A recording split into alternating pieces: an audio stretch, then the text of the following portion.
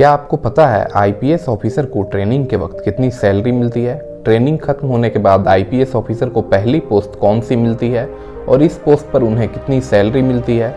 इसके अलावा IPS officer को एसपी या डीसीपी बनने में कितने साल का समय लगता है? और इस पोस्ट पर उन्हें कितनी तनख्वाह मिलती है?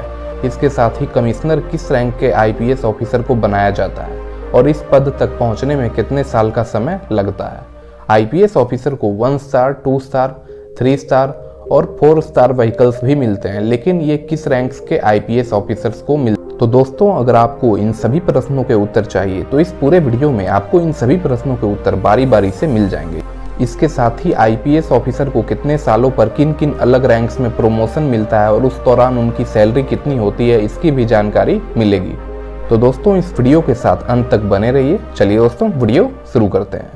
आईपीएस ऑफिसर की ट्रेनिंग सबसे पहले लबासना मसूरी में होती है। यहाँ आईपीएस ऑफिसर को आईएएस, आईएफएस और आईआरएस सहित सभी सिविल सर्विसेज़ के ऑफिसर्स के साथ तीन महीने पंद्रह दिन का फाउंडेशन कोर्स करना होता है। फाउंडेशन कोर्स खत्म होने के बाद सभी सर्विसेज़ के ऑफिसर्स अपनी अपनी एकेडमी चले जाते हैं। वहीं आईपीएस ऑफिसर की आगे की पूरी ट्रेनिंग एसवीपी एनपीए हैदराबाद में होती है। यहाँ पहले दिन से ही आईपीएस ऑफिसर को पुलिस यूनिफॉर्म में ट्रेनिंग करनी होती है।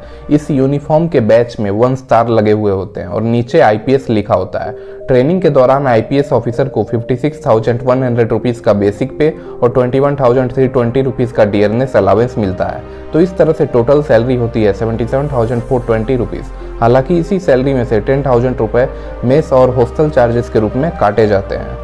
इसके अलावा सैलरी में से 10 परसेंट एन डिडक्शन होता है। तो इस तरह से आईपीएस ऑफिसर को ट्रेनिंग के वक्त जो सैलरी मिलती है, वह fifty nine thousand six seventy eight rupees होती है। S V P N P A में ग्यारह महीने की ट्रेनिंग पूरी करने के बाद आईपीएस ऑफिसर की डिस्ट्रिक्ट ट्रेनिंग शुरू होती है। इसमें आईपीएस ऑफिसर को जो स्टेट कैडर अलॉट होता है, उसी स्टेट के किसी भी डिस्ट्रिक्ट में उन्हें असिस्टेंट सुपरिटेंडेंट ऑफ़ पुलिस के रूप में पोस्टिंग मिलती है। इस दौरान उनके यूनिफॉर्म के बैच में दो स्टार्स लगे होते हैं। और नीचे आईपीएस लिखा होता है।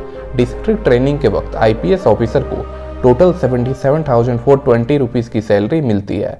हालाँकि इस सैलरी में से टेन परसेंट एन डिडक्शन होता है। तो इस तरह से आईपीएस ऑफिसर को डिस्ट्रिक्ट ट्रेनिंग के वक्त sixty nine thousand six seventy district training छः महीने की होती है।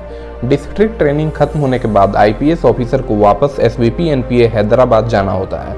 यहाँ आईपीएस ऑफिसर की फ़ेज़ टू की ट्रेनिंग शुरू होती है, जो साढ़े तीन महीने तक चलती है। फ़ेज़ टू की ट्रेनिंग खत्म होने के साथ ही आईपीएस ऑफिसर की आधिकारिक तौर पर पूरी ट्रेनिंग भी खत्म हो जाती है। आईपीएस ऑफिसर को वापस उनके स्टेट कैडर में भेजा जाता है। ट्रेनिंग खत्म होने के बाद आईपीएस ऑफिसर को जो पहली पोस्ट मिलती है, वह असिस्टेंट सुपरिटेंडेंट ऑफ़ पुलिस की मिलती है।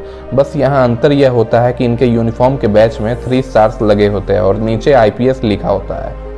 इस पोस्ट पर भी आईपीएस ऑफिसर को सेम सैलरी ही मिलती है, जो डिस्ट्रिक्ट ट्रेनिंग के वक्त मिलती थी, और वह salary sixty nine thousand six इसके अलावा आईपीएस ऑफिसर की सैलरी में हर साल तीन परसेंट का इंक्रीमेंट बढ़ता है, जिस वजह से बेसिक पे इंक्रीज होता है, और साल में दो बार डीए भी इंक्रीज होता है, जो कि सीपीआई डेटा के अनुसार बढ़ता है। पहले डियरनेस अलावेंस 34 परसेंट था, और अभी इसे बढ़ा करके 38 परसेंट कर दिया गया है। असिस्टेंट सुपरिटेंडेंट ऑफ़ पुलिस के रूप में एक साल तक काम करने के बाद आईपीएस ऑफिसर का प्रमोशन एडिशनल एसपी के पद पर हो जाता है। इसके अलावा कमिश्नरेट सिस्टम में इस पोस्ट के बराबर आईपीएस ऑफिसर को एडीसीपी बनाया जा सकता है। इसके साथ ही आईपीएस ऑफिसर को सिटी एसपी, रूरल एसपी या ट्रैफ़िक एसपी की पोस्ट भी दी जा सकती है। यह सभी पोस्ट लेवल 11 के होते हैं। इनके यूनिफॉर्म के बैच में सिर्फ़ अशोक एम्बलम लगे होते हैं और नीचे आईपीएस लिखा होता है। इस पोस्ट पर आईपीएस ऑफिसर को पूरी डिडक्शंस के बाद जो मंथली सैलरी मिलती है, वह एटी फोर थाउज़ेंड रुपीज़ होती है। एडिशनल एसपी के रूप में दो साल तक काम करने के बाद आईपीएस ऑफिसर का प्रमोशन सुपरिटेंडेंट ऑफ़ पुलिस के पोस्ट पर हो जाता है। इस पोस्ट तक पहुँचने में आईपीएस ऑफिसर को टोटल पाँच साल का समय लग जाता है। कमिश्नरेट सिस्टम में आईपीएस ऑफिसर को इस रैंक के बराबर डीसीपी के रूप में आईपीएस ऑफिसर को डिस्ट्रिक्ट के एसपी के अलावा स्टेट पुलिस की अलग अलग यूनिट्स का एसपी भी बनाया जा सकता है, जिसमें ये सभी पोस्ट होते हैं। एसपी के यूनिफॉर्म के बैच में एक स्टार और अशोक एम्बलम लगे होते हैं और नीचे आईपीएस लिखा होता है। इस पोस्ट पर आईपीएस ऑफिसर को पूरी डिडक्शंस के बाद हर महीने 97,870 रुपीस की सैलरी प्राप्त होती है। दोस्तों वीडियो में आगे बढ़ने से पहले नीचे आप कमेंट बॉक्स में यह कमेंट करके बताओ। अगर आप यूपीएससी सिविल सर्विस एग्ज़ाम की तैयारी करोगे तो ऑप्शनल पेपर के रूप में इनमें से एक कौन सा सब्जेक्ट सेलेक्ट करोगे? नीचे कमेंट में बताएँ। एसपी के रूप में पाँच साल तक काम करने के बाद आईपीएस ऑफिसर का प्रमोशन एसएसपी यानी सीनियर सुपरिटेंडेंट ऑफ़ पुलिस के पद पर हो जाता है। जिस डिस्ट्रिक्ट की आबादी ज़्यादा होती है, उसी ज़िले में एसएसपी की पोस्ट होती है। एसएसपी के यूनिफॉर्म के बैच में अशोक एम्बलम के साथ दो स्टार्स लगे होते हैं और नीचे आईपीएस लिखा होता है। एसएसपी के रूप में आईपीएस ऑफिसर को one lakh eighteen thousand five hundred rupees का और फोर्टी फाइव थाउज़ेंड रुपीज़ का डियरनेस अलावेंस मिलता है। तो इस तरह से पूरी डिडक्शन के बाद एसएसपी को हर महीने one lakh forty seven thousand two hundred rupees की सैलरी मिलती है। और दोस्तों, अगर आप यूपीएससी सिविल सर्विस एग्ज़ाम या स्टेट पीएससी की तैयारी कर रहे हैं तो आप एग्ज़ाम क्वेस्ट के free GS marathon classes join कर सकते हैं। इन क्लासेस से कई एस्पिरेंट्स ने स्टेट पीएससी और यूपीएससी प्रीलिम्स जैसे एग्ज़ाम्स को क्लियर किया है। एग्ज़ाम क्वेस्ट के पेड कोर्सेज भी बहुत कॉम्प्रिहेंसिव है, जिसमें सिलेबस को एग्ज़ाम से पहले कम से कम तीन बार क्लास में रिवाइज कराया जाता है, जहाँ हैंड रिटर्न नोट्स प्रोवाइड किए जाते हैं, जो कि स्टैंडर्ड रेफरेंस बुक से ही बने होते हैं, ताकि एस्पिरेंट्स को अलग अलग सोर्सेज को रेफर ना करना पड़े। करंट अफेयर्स को भी सब्जेक्ट वाइज तरीके से कवर किया जाता है जिससे चीज़ों को रटने की ज़रूरत नहीं रहती। एग्ज़ाम क्वेस्ट के कोर्सेज में एनरोल कराने के बाद आपको कोई और test series current affair magazine या सोर्स रेफर नहीं करना पड़ेगा। कॉलेज स्टूडेंट्स और वर्किंग प्रोफेशनल्स भी अपने सिलेबस को कम से कम समय में पूरा कर पाएँगे।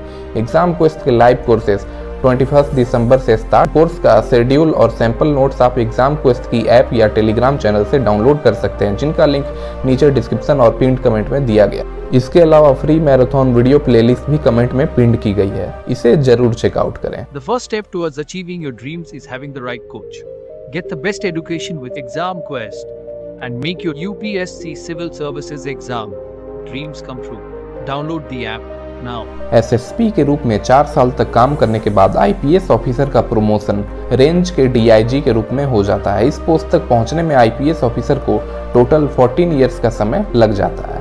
डीआईजी के व्हीकल में ब्लू नेम प्लेट के साथ वन स्टार लगा होता है और फ्लैग ट्रायंगल शेप में होता है। कमिश्नरेट सिस्टम में आईपीएस ऑफिसर को इस रैंक के equal additional commissioner of police के रूप में पोस्टिंग मिलती है। डीआईजी के यूनिफॉर्म के बैच में अशोक एम्बलम के साथ थ्री स्टार्स लगे होते हैं।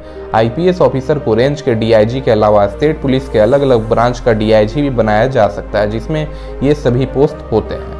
इस पोस्ट पर आईपीएस ऑफिसर को पूरे डिडक्शंस के बाद हर महीने one lakh sixty two thousand eight thirty rupees की सैलरी मिल। एक बात और दोस्तों, अगर आप इस चैनल पर नए हैं तो चैनल को सब्सक्राइब करके बेल आइकन को प्रेस कर लें। ऐसी ही नॉलेजेबल वीडियो सबसे पहले देखने के लिए।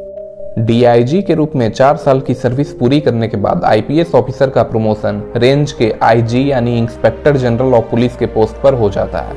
आईजी के व्हीकल में ब्लू नेम प्लेट के साथ टू स्टार्स लगे होते और फ्लैग कुछ इस सेप का होता है। कमिश्नरेट सिस्टम में आईजी रैंक के ऑफिसर्स को ज्वाइंट कमिश्नर ऑफ़ पुलिस की पोस्ट मिलती है। आईजी के यूनिफॉर्म के बैच में क्रॉस बैटन एंड स्वॉर्ड के साथ एक स्टार लगे होते हैं।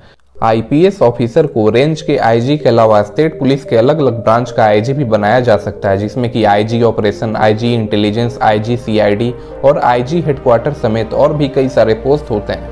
आईजी के रूप में आईपीएस ऑफिसर को टोटल डिडक्शंस के बाद हर महीने one lakh seventy nine thousand rupees की सैलरी मिलती है। आईजी के तौर पर छः साल तक काम करने के बाद आईपीएस ऑफिसर का प्रमोशन जोन के एडीजी यानी additional director general of police के पोस्ट पर हो जाता है। इस पोस्ट तक पहुँचने में आईपी ज्वाइनिंग से लेकर 24 साल का लंबा समय लग जाता है।